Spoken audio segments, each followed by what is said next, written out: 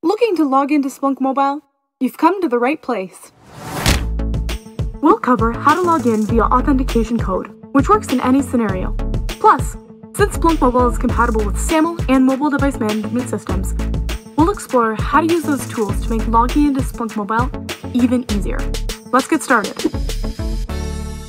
Here I have my Splunk Mobile app on my phone and the Splunk Secure Gateway app on my Splunk deployment. Both cloud and on-prem work.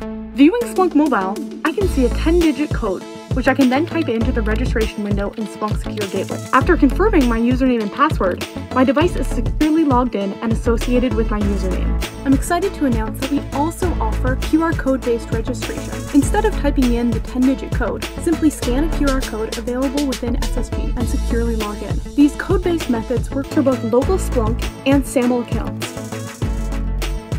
Splunk supports many SAML IDPs.